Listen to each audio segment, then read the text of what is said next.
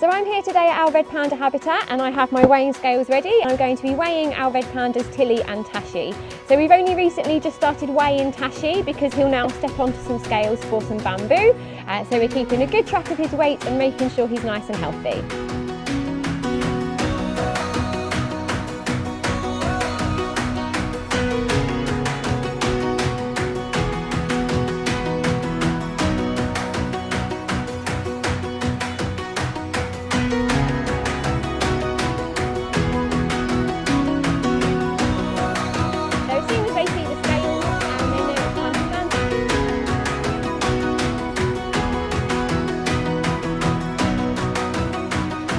So Tilly and particularly Tashi done really, really well today. We have nice weights from both of them, which look absolutely perfect.